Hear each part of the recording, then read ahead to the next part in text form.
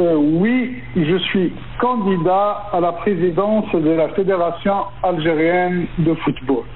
Il y a déjà à vos côtés euh, M. Behloul qui représente une grande partie de la famille du football et qui se présente lui-même avec, qui vous voulez lui-même avec une liste. Il y a M. Ben Hamza qui nous a rejoint et qui aussi se présente aussi avec une liste.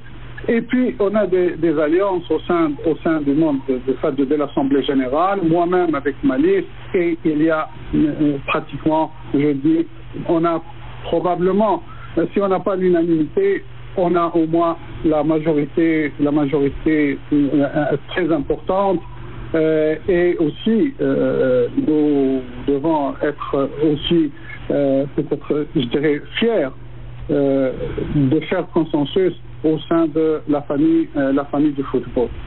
Bah, euh, au-delà, au-delà de l'objectif général qui est de euh, rassembler la famille du football, la première priorité structurelle et la première priorité de travail, c'est d'amender les statuts, de se conformer aux règles et aux directives de la FIFA.